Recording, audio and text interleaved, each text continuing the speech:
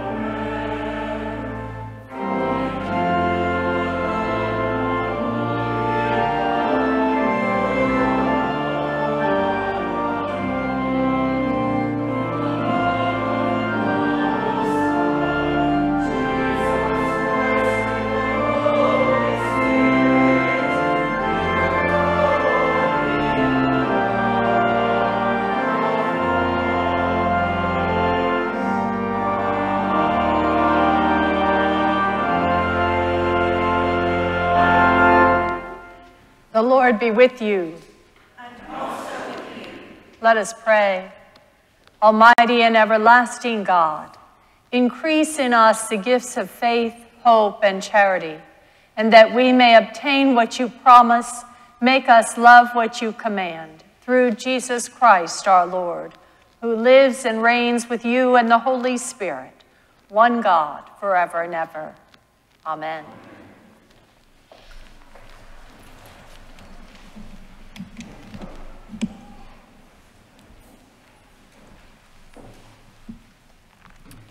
A reading from the prophet Jeremiah. For thus says the Lord Sing aloud with gladness for Jacob, and raise shouts for the chief of the nations.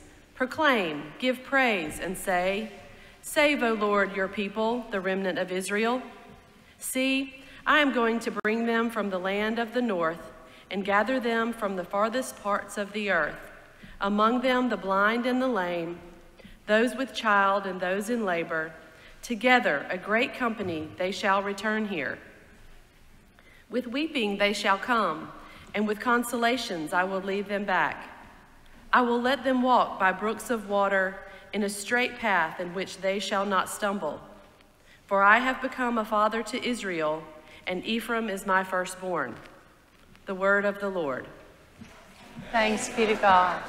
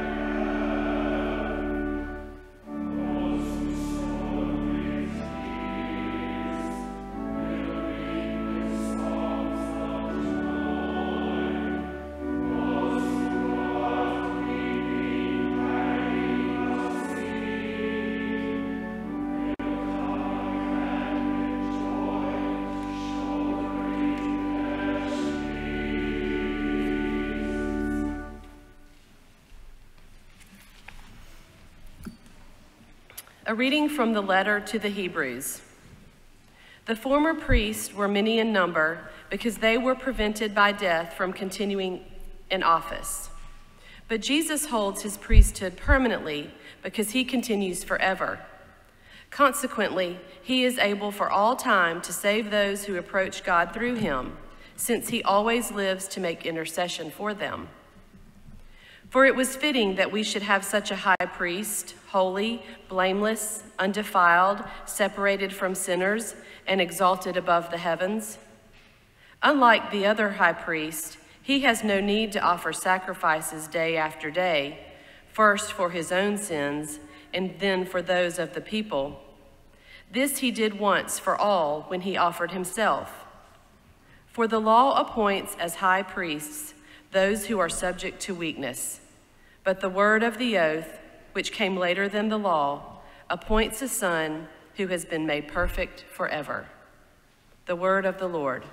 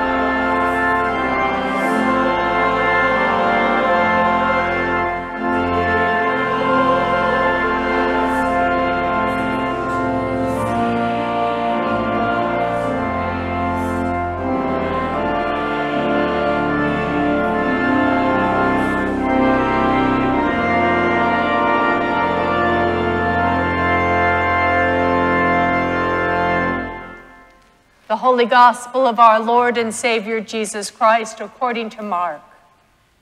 Glory to you, Lord Christ. Jesus and his disciples came to Jericho. And as he and his disciples and a large crowd were leaving Jericho, Bartimaeus, son of Timaeus, a blind beggar, was sitting by the roadside. When he heard that it was Jesus of Nazareth, he began to shout out and say, Jesus, son of David, have mercy on me. Many sternly ordered him to be quiet, but he, he cried out even more loudly, Son of David, have mercy on me. Jesus stood still and said, Call him here. And they called the blind man, saying to him, Take heart, get up, he is calling you. So, throwing off his cloak, he sprang up and came to Jesus. Then Jesus said to him, What do you want me to do for you? The blind man said to him, My teacher, let me see again. Jesus said to him, Go, your faith has made you well. Immediately he regained his sight and followed him on the way. The Gospel of the Lord. Praise to you, Lord Christ.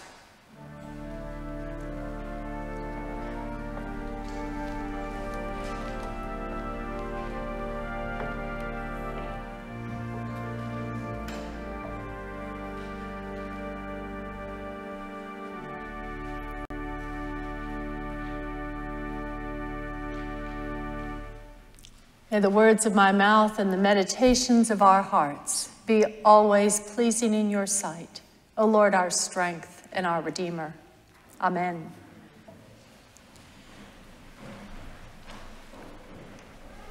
This week, I learned that a very dear friend of mine, Randy Greene, passed away.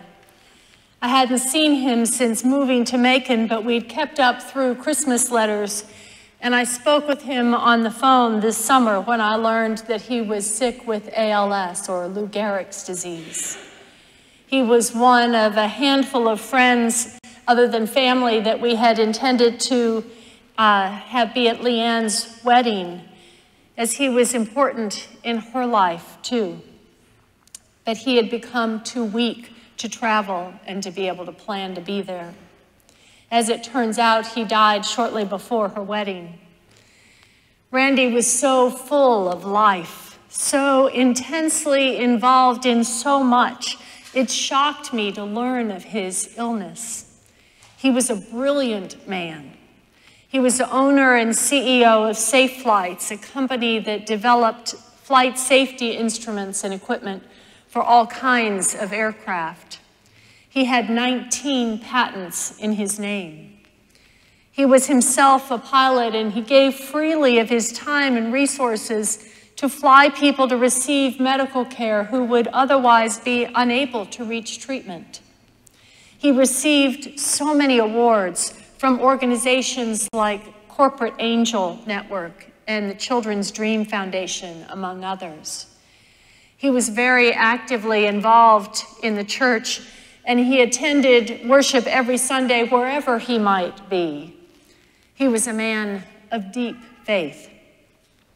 Because he was interested and wanted to learn more, he went to seminary. He had two seminary degrees, two theology degrees, one from General and one from Yale. When he woke up each morning, he studied the word from the original language or languages. One of the things I loved about him was that he loved to introduce his friends to things and to people that he loved. I flew with him several times to hear lectures of a theologian that he particularly enjoyed. He loved music and especially opera. So when he heard that our only experience of the opera had been a terribly grim and austere avant garde version of Hansel and Gretel at the Met. Knowing Leanne's gift for music, he took it upon himself to make opera lovers of us in a way that had two little girls having very unrealistic expectations about what it was like to go to the opera. Losing my dear friend, who was in so many ways larger than life, was a reminder of the impermanence of life. It's so easy to live as if we have all the time in the world, to assume we have many tomorrows. But this illness came out of nowhere and claimed his life very quickly. Time is a funny thing. It seems to go faster with each passing year. The pandemic has done especially weird things to time, making it harder to keep track of the days as it has stripped us of our routines and of so much that gives our life meaning and purpose, being able to interact with others and have an impact for good in the world. It makes us step back and evaluate how we really want to be spending our time. My friend Randy, who was a very busy man, took the time to bring two little girls to the opera, and more importantly, to help countless people overcome otherwise insurmountable obstacles to receive the medical care they needed by personally flying them to treatment. His job was extremely important, but it didn't keep him from allowing himself to be a blessing to so many people in other ways. Sometimes it's those things that we might otherwise feel are interruptions on our intended course that are actually opportunities to participate in the plans and purposes of God.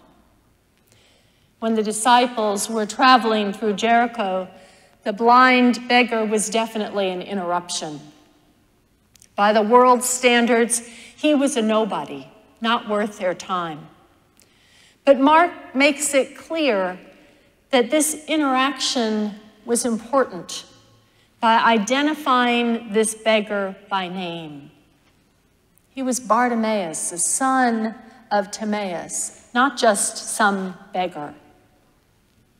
The Lord had a plan and a purpose for this man that the world would much rather pass by. And he was about to step into it by calling to Jesus. This man who was unable to see and of no importance by the world's standards recognized the presence of the Messiah, the Son of David, that no one else around was recognizing. And he wasn't going to miss this divine opportunity. Jesus heard him. He stopped and he called to him. We're told that Bartimaeus threw off his cloak. His cloak was what identified him as a beggar. He threw it off and he sprang up and came to Jesus. He's eager to respond to the call. And without hesitation, he asked Jesus to restore his sight. That's a big ask. Think about it. But he has every confidence that Jesus can do this, and his faith is rewarded. Immediately, he regained his sight and followed Jesus on the way. This momentary interaction changed his life. In responding to Jesus, he stepped into the purposes of God. His life has been given permanence. He matters. It's what we all were created for. But when our life is only about the things of this world and not about a relationship with God, we become lost to the passing of time of all that happened that day, this interruption may be the one thing that really mattered. It was the one th thing that was worth recording for posterity, the one thing not lost to time. Yet the disciples wouldn't have even stopped to give him the time of day. This was the breakthrough moment where those beyond the circle of the disciples began to recognize Jesus as the Savior. But it was disguised as a beggar interrupting them on their way. To be discovered, it required the humble willingness to respond to interruptions with obedience and to let the Lord direct their time. The writer of Hebrews addresses the issue of impermanence in our lives. The priests who have been the spiritual leaders of the people are not able to offer sufficient sacrifices since they are themselves sinners. And they die and are replaced by others. They're temporary and insufficient instruments in restoring people to a right relationship with God. Only Christ is permanent, eternal, and perfect. The word used for permanence here in Hebrews is used nowhere else in the New Testament. It means cannot be transgressed, inviolable, and so unchangeable. Only He can offer that perfect sacrifice for our sins that brings us back into a right relationship with God.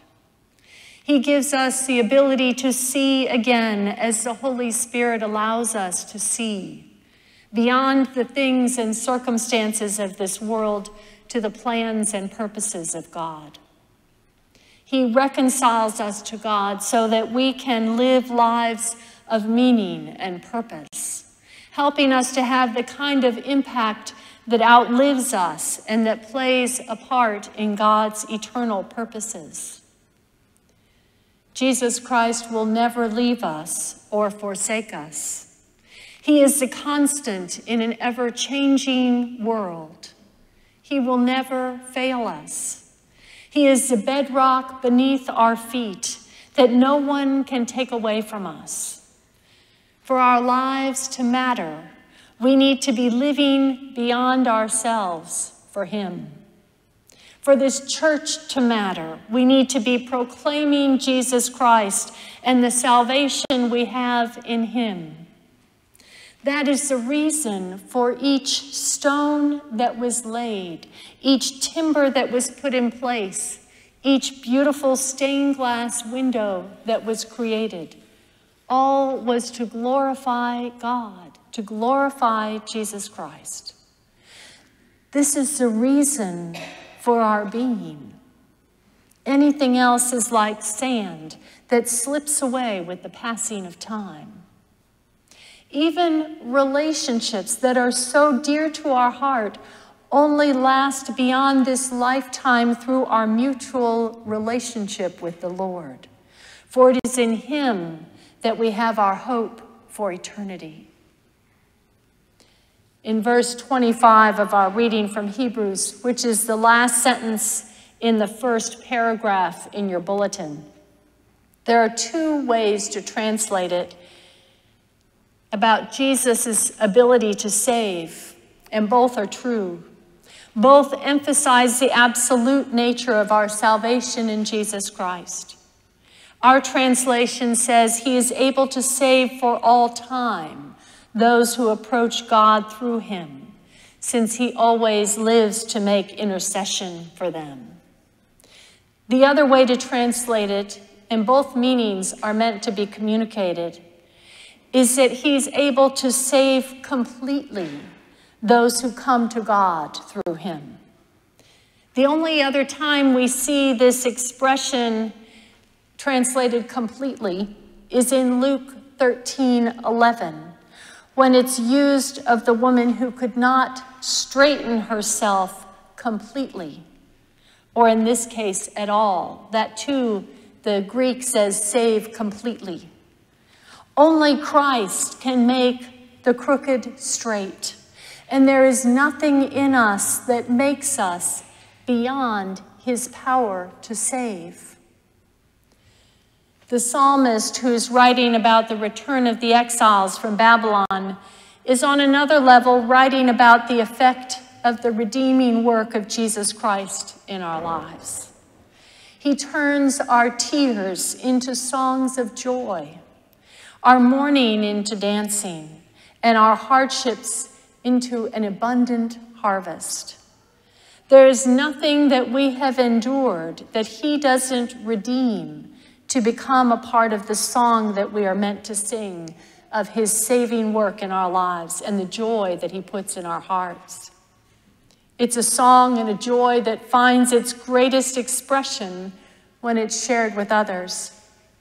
Those who might otherwise be considered interruptions on our way, but who are actually opportunities to share and celebrate with in the saving work of Jesus Christ and his power to heal and restore even those who would seem to us to be the most lost to the plans and purposes of God. The Lord has indeed done great things for us. He's given us reason to rejoice and given a song that will withstand the test of time. Amen.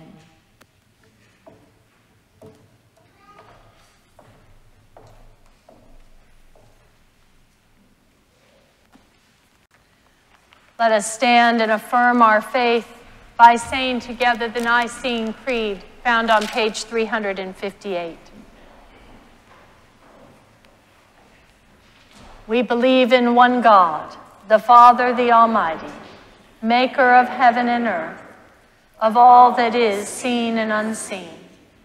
We believe in one Lord Jesus Christ, the only Son of God, eternally begotten of the Father God from God, light from light, true God from true God, begotten, not made, of one being with the Father. Through him all things were made. For us and for our salvation, he came down from heaven. By the power of the Holy Spirit, he became incarnate from the Virgin Mary and was made man. For our sake, he was crucified under Pontius Pilate. He suffered death and was buried. On the third day, he rose again in accordance with the scriptures. He ascended into heaven and is seated at the right hand of the Father. He will come again in glory to judge the living and the dead, and his kingdom will have no end. We believe in the Holy Spirit, the Lord, the giver of life who proceeds from the Father and the Son. With the Father and the Son, he is worshiped and glorified. He has spoken through the prophets. We believe in one holy Catholic and Apostolic Church. We acknowledge one baptism for the forgiveness of sins. We look for the resurrection of the dead and the life of the world to come. Amen.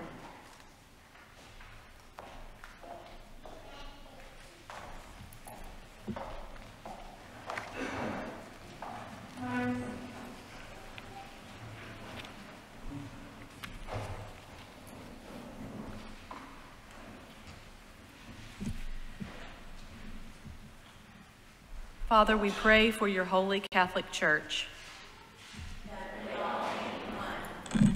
Grant that every member of the church may truly and humbly serve you.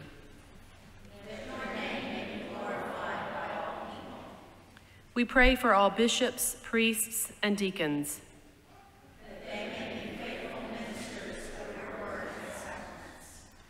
We pray for all who govern and hold authority in the nations of the world.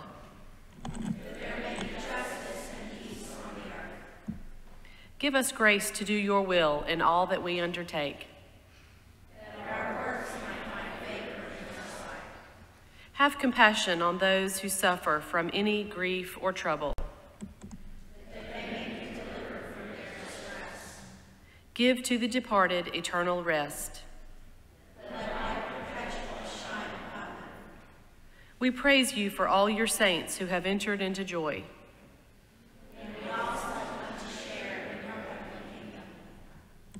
Let us pray for our own needs and those of others, either silently or aloud.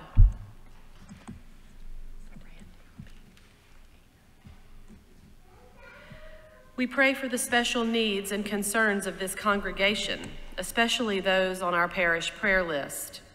Alice, Ashley, Bailey, Candy, Charlie, Christy, Crawford, Elizabeth, Gary, George, Jean, Helen, Herkley, Hunter, Jay, Kelly, Kempton, Ken, Kais, Kimball, Lane, Laura, Libby, Malcolm, Marcelo, Margaret, Martha, Matthew, Melanie, Merritt, Pammy, Pete, Peter, Phil, and Sandy. We pray for those serving in the military, especially Alan, Austin, Cameron, Charlie, George, Georgia, Joe, John, Rose, and Thomas. We pray for all who are suffering from COVID 19 throughout the world, for strength and protection for all healthcare workers, that through your loving kindness they may provide healing, grace, and mercy with compassion, wisdom, and dignity. The altar flowers are given to the glory of God and in loving memory of Marietta and Roger Markson, Anne and John Bryce, Lynn Markson Curry, and Margaret Bryce. Almighty God, to whom our needs are known before we ask, help us to ask only what accords with your will, and those good things which we dare not or in our blindness cannot ask. Grant us for the sake of your Son, Jesus Christ, our Lord. Amen. Using the prayer on page 360, let us confess our sins against God and our neighbor. Most merciful God, we confess that we have sinned against you in thought, word, and deed, by what we have done and by what we have left undone. We have not loved you with our whole heart. We have not loved our neighbors as ourselves. We are truly sorry, and we humbly repent. For the sake of your Son, Jesus Christ, have mercy on us and forgive us that we may delight in your will and walk in your ways, to the glory of your name. Amen. Almighty God, have mercy on you, forgive you all your sins through our Lord Jesus Christ, strengthen you in all goodness, and by the power of the Holy Spirit, keep you in eternal life. Amen. The peace of the Lord be always with you.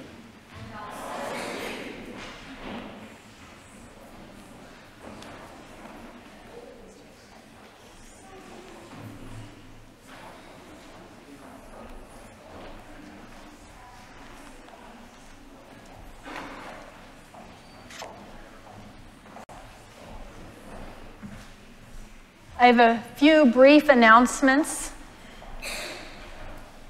We are going to start receiving the wine again today at communion, but in order to not be using the common cup, um, Christine and I, who will each have a paten, will be dipping the, the wafer for you and putting it in your hand. We can't be putting it in your mouth, I apologize.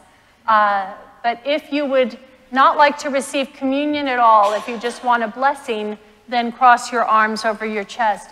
If you don't want the wine for any reason, just speak to us and tell us that you don't want the wine, and we'll just give you the wafer.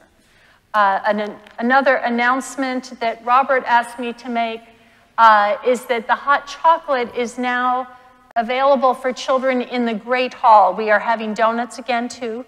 So from 9.40, it's for next week, sorry guys. For 9.45 to 10 is when hot chocolate will be available and it'll be in the Great Hall. And we ask people to keep it in the Great Hall rather than to travel with it and bring it to Sunday school classes.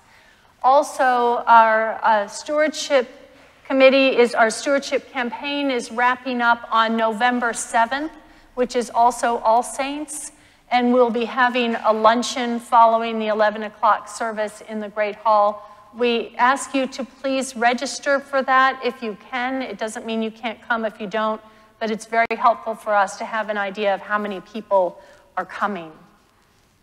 Also, a reminder that uh, the Bible study for working women is, you don't have to be working, but because the evening is a better time, uh, is this Thursday at 5.30 at Elizabeth Cleveland's house. It's in the section that is the calendar section for this week.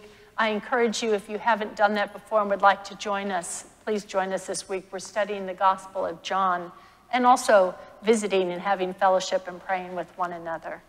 Uh, this Wednesday is our Halloween celebration. We have a service here. Steve, you're going to talk about it. Come up, please. I didn't notice you were standing there. Yes.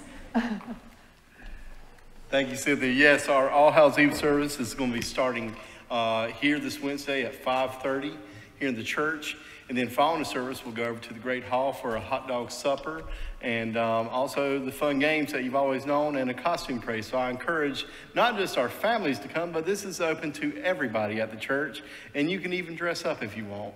Uh, but it's going to be a great time, a fun time. And uh, speaking a little bit more about Halloween fun, we took the youth last night to Haunted Montrose, and we all survived. I must tell you though, the scariest thing for me was not necessarily the attraction, but the porta potties. Um, but Bryce did a great job leading one of the groups. He was, uh, they put him at the front since he was bigger than the others. So good job, Bryce. But uh, also be on the lookout for this upcoming newsletter for some more things for our children and youth. Uh, we also have some exciting information, particularly for the ski trip coming up um, that I know our youth families want to look at. But that's all I've got. Thank you. Thanks, Steve. Uh, this Wednesday, there, we are not doing the hymn class, so if you come, you're coming to the Halloween event. Just be forewarned. Also, last Sunday, we had a wonderful time at the parish picnic. Um, if you missed it, then you should have a fear of missing out because it was really great. But you'll have another opportunity next year. It's going to be at the same location. So I encourage you to keep an eye out for that next year. Any other announcements? Oh, I know, one other.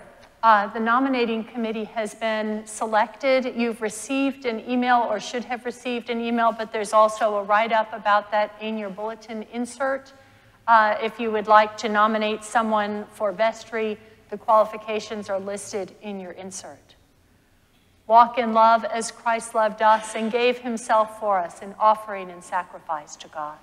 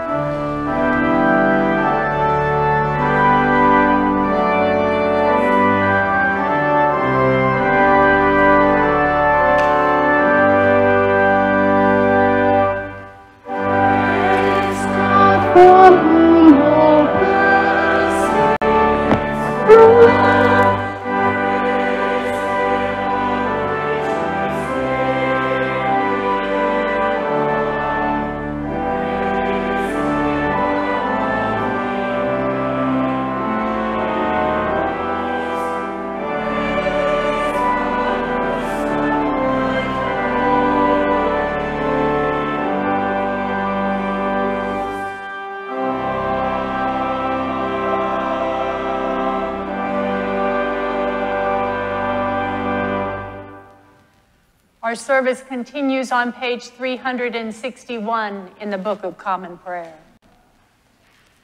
The Lord be with you. With you. Lift up your hearts. Up. Let us give thanks to the Lord our God. It is right and a good and joyful thing, always and everywhere, to give thanks to you, Father Almighty, Creator of heaven and earth, through Jesus Christ our Lord. In fulfillment of his true promise, the Holy Spirit came down from heaven, lighting upon the disciples to teach them and to lead them into all truth, uniting peoples of many tongues in the confession of one faith and giving to your church the power to serve you as a royal priesthood and to preach the gospel to all nations. Therefore, we praise you, joining our voices with angels and archangels and with all the company of heaven, who forever sing this hymn to proclaim the glory of your name.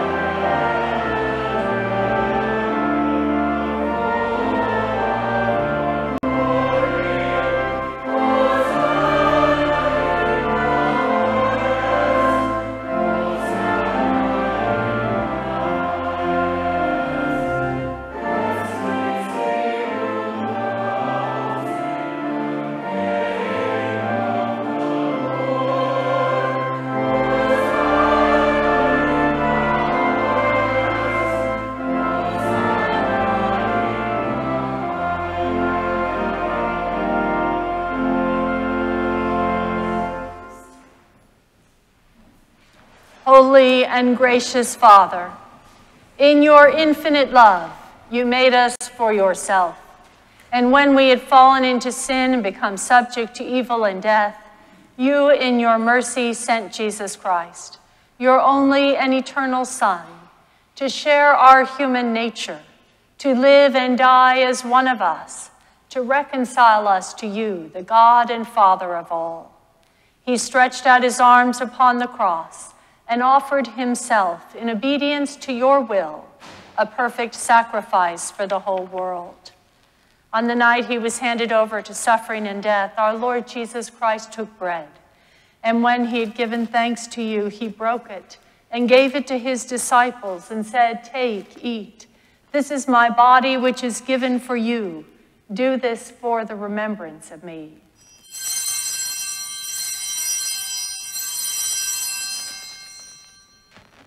After supper, he took the cup of wine, and when he had given thanks, he gave it to them and said, Drink this, all of you. This is my blood of the new covenant, which is shed for you and for many for the forgiveness of sins. Whenever you drink it, do this for the remembrance of me.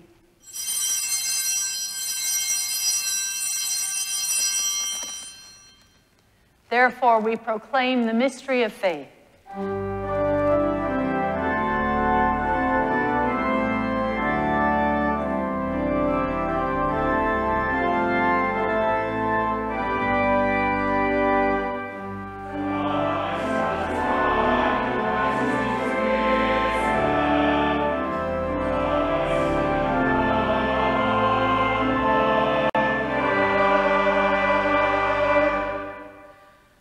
Celebrate the memorial of our redemption, O Father, in this sacrifice of praise and thanksgiving. Recalling his death, resurrection, and ascension, we offer you these gifts. Sanctify them by your Holy Spirit to be for your people the body and blood of your Son, the holy food and drink of new and unending life in him. Sanctify us also that we may faithfully receive this holy sacrament and serve you in unity, constancy, and peace. And at the last day, bring us with all your saints into the joy of your eternal kingdom.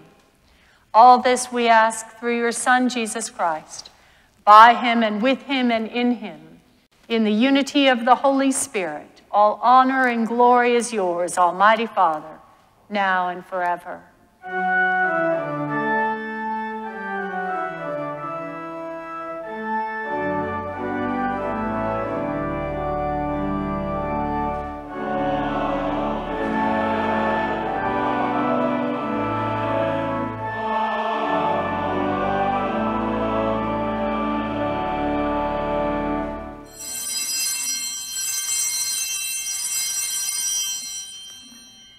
And now, as our Savior Christ has taught us, we're bold to pray Our Father, who art in heaven, hallowed be thy name.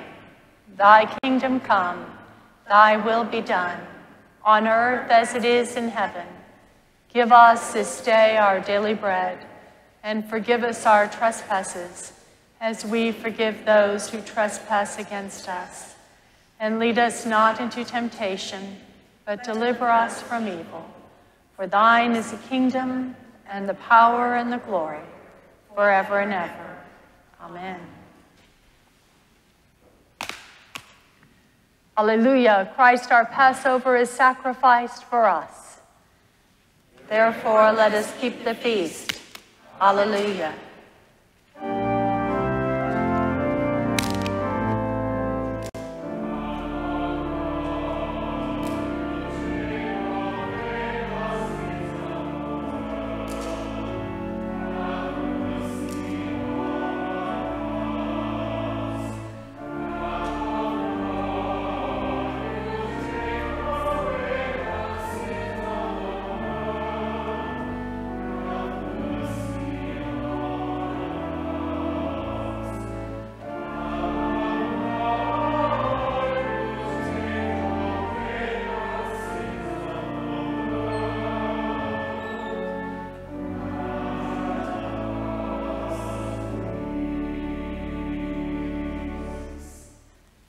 Gifts of God for the people of God. Take them in remembrance that Christ died for you, and feed on him in your hearts by faith and with thanksgiving.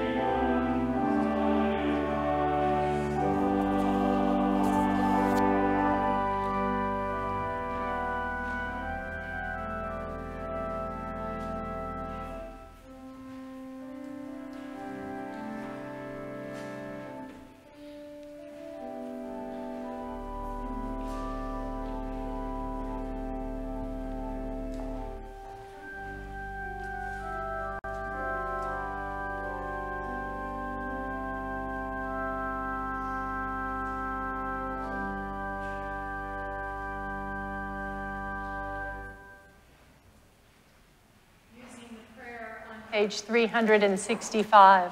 Let us pray. Eternal God, Heavenly Father, you have graciously accepted us as living members of your Son, our Savior, Jesus Christ, and you have fed us with spiritual food in the sacrament of his body and blood. Send us now into the world in peace and grant us strength and courage to love and serve you with gladness and singleness of heart through Christ our Lord. Amen. And now may the peace of God, which passes all understanding, keep your hearts and minds in the knowledge and love of God and of his Son, our Savior, Jesus Christ.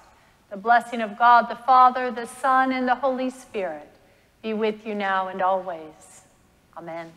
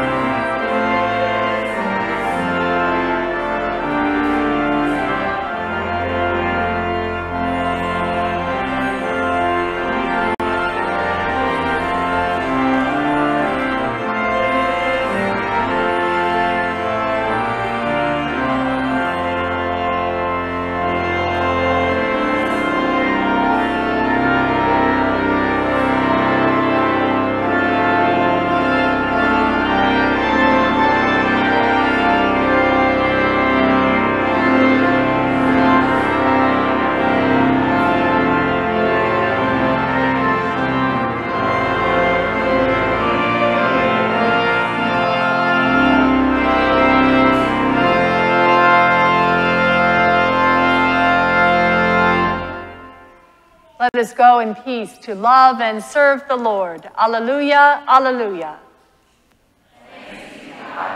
Alleluia, alleluia.